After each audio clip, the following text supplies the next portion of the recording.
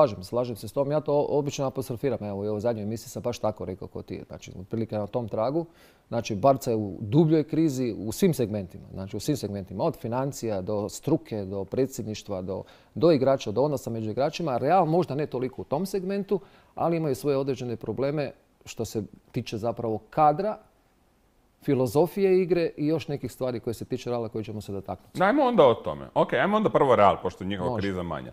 E, dakle, Real trenutačno je tu negdje, četvrto, peto mjesto, ako se da, ne varam. Osam utakmica, šest bodova, ako nešto. Da, izgubili su od Kadiza i sada od Valencije. Da. Međutim, ono što ih treba brinuti je situacija zapravo u Ligi prvaka, gdje su izgubili od Šahtara kod kuće. E, igrali su protiv Intera utakmicu na nož, drhtali su do zadnje minute. E, I zapravo e, ono što je kod Reala problem je što ja u desetak utakmica, koliko sam ih gledao ove sezone, ni u jednoj utakmici nisam imao dojam da se radi o dominantnoj ekipi. Nego o nekoj ekipi koja igra na refule, pa sad super, pa sad loše. Da, da, to je ono što nemaju kontinuitet i oni dosta sporo igraju, zapravo sporo igraju. E, puno, puno treba vremena da lopta pređe iz jedne trećine u drugu, dakle nema nema brzine, nema hitrine u prenosu lopte, nema okomitosti. E, Zidane je igrao u nekim utakmicama, dakle bez Viniciusa, bez Rodriga, bez klasičnih krila. Igrali smo, ne znam, Valverde, krilo i na drugoj strani Isko. Mislim, ja to recimo ne mogu pojmiti. Znači, e, Isko i Valverde su krila.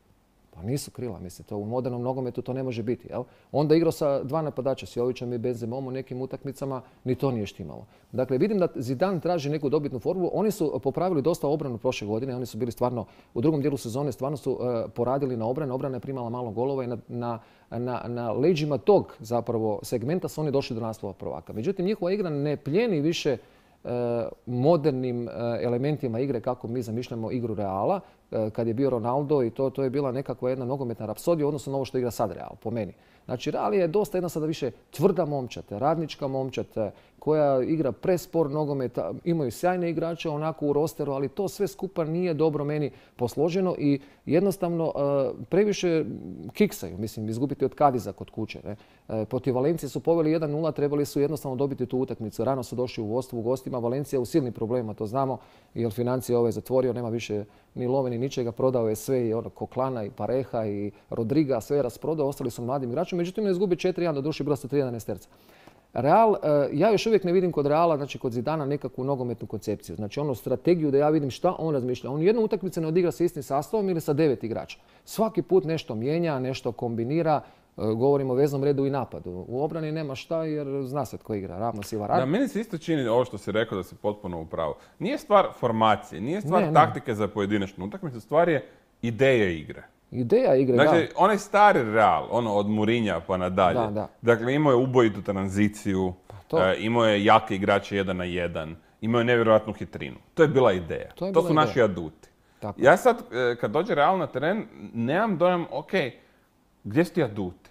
Nema, nema, na, na, temelju čega ćeš ti dobiti utakmicu, osim ovoga imamo bolje igrače. Da, ma nema, u zadnje vrijeme nema ni gaženja suparnika. Dakle, nemaš više utakmice u kojoj Real ono baš ono izdominira. Znaš, ono pobjedi sa 5-0, sa 4-0. Vrlo rijetko se to dogodi. Ja sam prenosio hrpu utakmice Reala u zadnje vrijeme. E, bilo je muke u gostima protiv slabih momčadi, pa jedva jedvice nekako. I protiv Betisa u gostima su gubili 2-1, pa opet neki penal, pa nešto pa se okrene. Znaš, sve je to nešto na mišiće, na, na snagu, da, na, na Imamo bolje igrače. Da, dođe neka kvaliteta ispliva, znaš, ali nemaš ti onu prepoznatljivost, neku, neku da ja kažem da je Real, da prepoznajem igru, da vidim nek, nekakvu misao. Zato velim, Zidane mi nekako nije uspio. Doduše, veliki su gafovi po meni što uopće nisu ostavili Regu Ilona i što nisu ostavili čak i ovoga Hakimija, Ašafa Hakimija. Dakle, e, Carvajal već i Marcelo već e, polako po meni bi trebali lagano da se mijenjaju te pozicije sa modernim igračima. Meni je Regulion igrao izvrsno u Sevilji prošle godine, dakle to moderan igrač, stvarno moderno igra, u repostaciji sada. Igra strašno dobro. Odličan igrač. Dakle, tu imao Marcela... Najbolji lijevi bek lige. Sigurno, po meni. A imaju Marcela i Mendija na lijevoj strani. Doduše, oni su rekli da im ne treba treći. Pa mogli su biti tri, Regulion mogu biti prvi, ova druga dvojica, jel? Mislim, ne treba treći.